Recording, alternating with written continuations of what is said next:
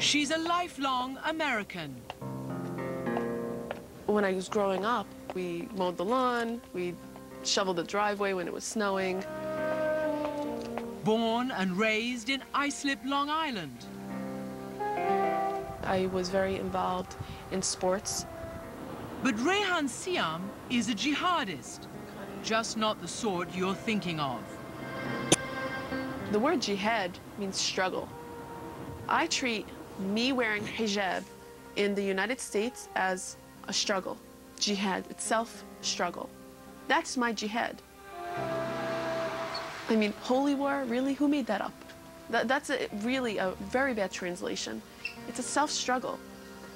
Living in a secular society where you have to work to maintain your Islamic values, that's jihad. Rihan Siam's parents came here from Egypt. They were devout. But like so many immigrant children, she was a typically Americanized teenager. So when I'd be called to pray by my parents, I would just run between commercial breaks and wash up and pray and run back and hopefully I didn't miss my TV show.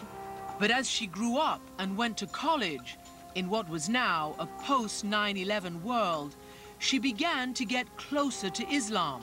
And one morning, she made a decision that would change her life to wear the hijab, the traditional Muslim headscarf. It was very dramatic for me, and I remember how, like, even now thinking about it, it really does make my heart beat a little bit faster because I was making a decision I knew was permanent. You put on hijab, you don't take it off.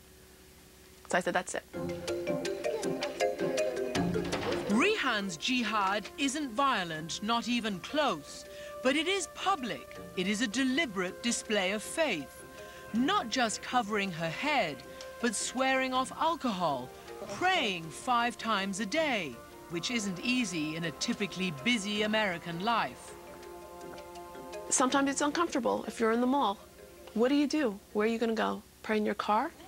Rihan is part of a new generation among America's approximately 2 million Muslims. Young Muslims here are becoming much more religious than their parents. And this is being expressed by more women wearing headscarves, the increase in mosque attendance, more mosques being built, more Muslims wanting to attend Islamic schools rather than the public school system. Genevieve Abdo is the author of Mecca and Main Street. She says that since 9-11, the majority of American Muslims feel they're singled out for suspicion and surveillance by the government and by ordinary people they will look at me as if I'm threatening. And I don't feel like I'm very threatening looking. I don't feel like I should instill fear in anybody's hearts. But I do feel like I get dirty looks. It's because they see me as a Muslim. A recent Pew Forum poll offered the first look at attitudes of Muslims living in America. The majority, it found, are highly assimilated, moderate, and see no conflict between being a devout Muslim and living in the United States. But there was a distinct difference between young Muslims and their parents. Young Muslims were almost twice as likely to attend mosque as their parents, and considerably more likely than their parents to say they are Muslims first, Americans second. And while most American Muslims reject extremism, younger Muslims, 26% of them, say suicide bombings can sometimes be justified. Author Genevieve Abdo found young Muslims often feel a disconnect with the American lifestyle. They're rejecting a lot of things about American culture. They don't want to date. They don't want to drink alcohol. They don't want to engage in premarital sex. They consider many aspects of American society immoral. Assalamu alaikum. Alaikum for Rihan and her husband Rami, good.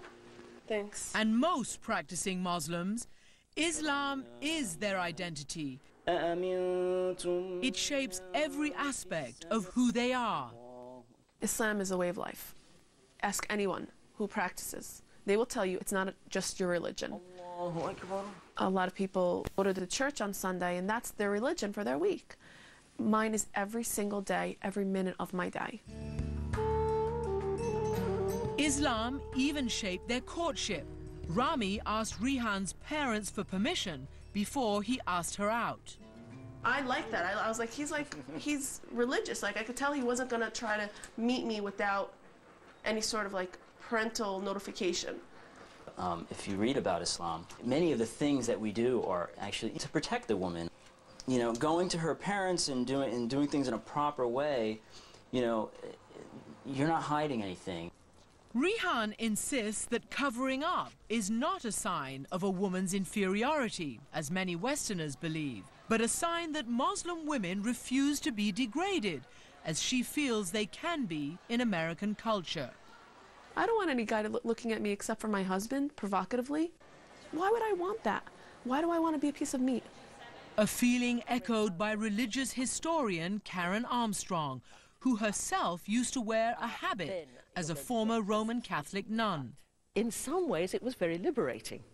For seven whole years, I never had once to think about my hairstyle, my makeup, my clothes. I never had to wear man-pleasing garments. I never had to fill my head with the junk that society tells women to trivialize their lives about. I think Western belief is that the more you have, the more prestigious you are, and you compete with other people as to what you have. Who has a better car? Who has a bigger house? Who has the nicer purse? In Islam, it's actually the total opposite. You're supposed to be humble. So Rihan Siam is committed to her struggle to live a religious life in a material world. It's her jihad. I want to be praying to God. I'm lucky that I wake up every morning, I could think of God. I don't think that everybody has that, and I think that, that I'm lucky for it.